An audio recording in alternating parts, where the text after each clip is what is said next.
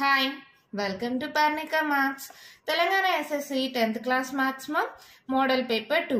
దీంట్లో ఉండే section one section two problems already discuss చేశాం కదా.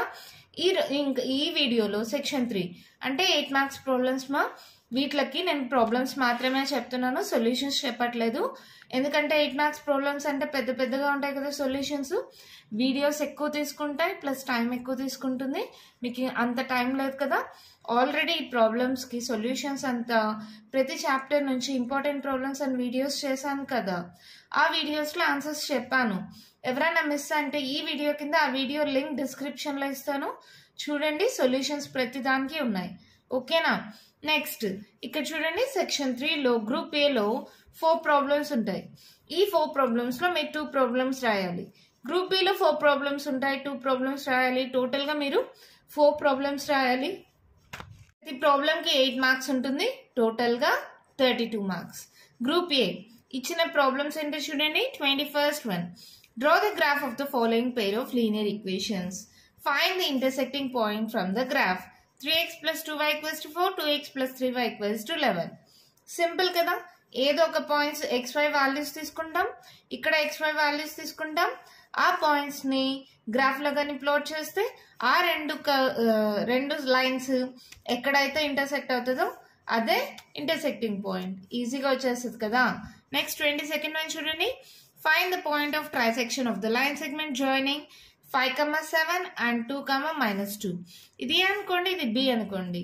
నెక్స్ట్ పాయింట్స్ ఆఫ్ ట్రైసెక్షన్ అంటే ఎలా చేస్తారమ్మా ఇది ఏ ఇది బి ఇక్కడ టూ పాయింట్స్ అనుకుంటాం ఇది పి ఇది Q P divides AB in the ratio one is to two Q divides AB in the ratio two is to one ఈ రేషియోస్ తీసుకొని సెక్షన్ ఫార్ములా సెక్షన్ ఫార్ములా ఏంటి? M one x two plus m two x one by m one plus m two m one y two plus m two y one by m one plus m two ఆ formula use చేసి P value Q value కనుక్కుంటే సరిపోతుంది.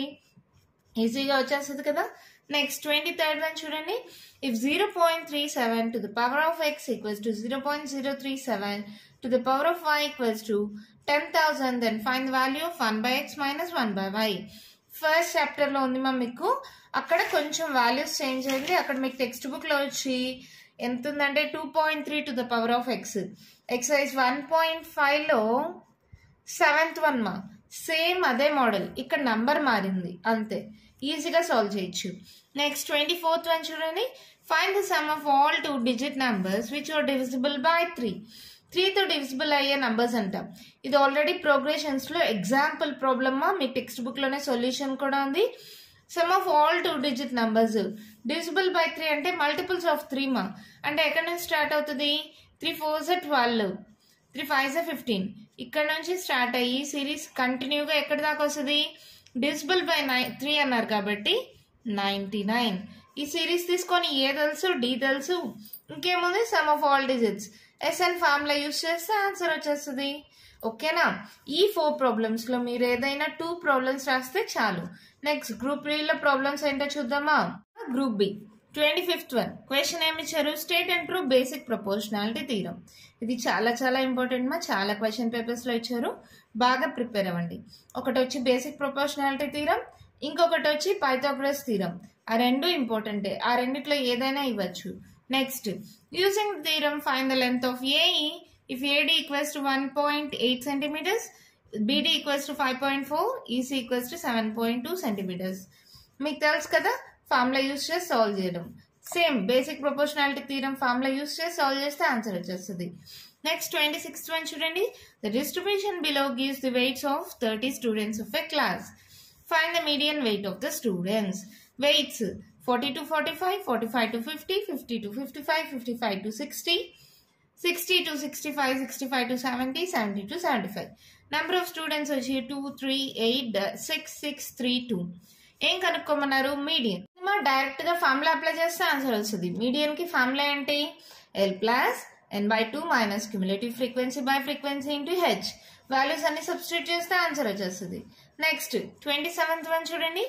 A solid is in the form of a right circular cylinder with a hemisphere at one end and a cone at the other end. The radius of the common base is 8 centimeters and height of the cylinder and conical portions are 10 centimeters and 6 centimeters respectively.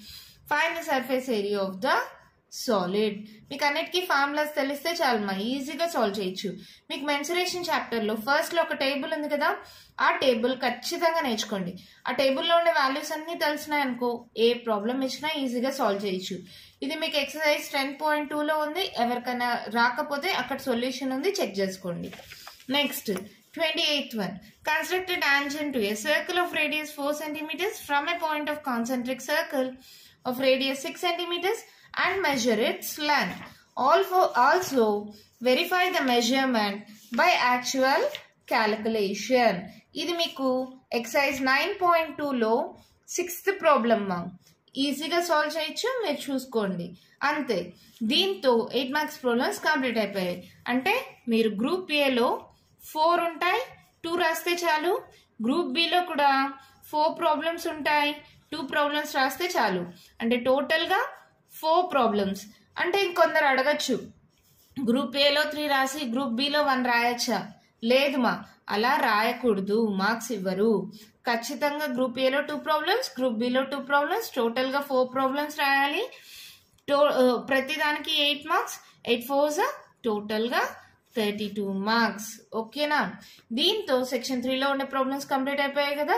Next వీడియోలో bits part below ఉండే problems part below ఉండే bits ఏంటో వాటి solutions ఏంటో చూద్దాం.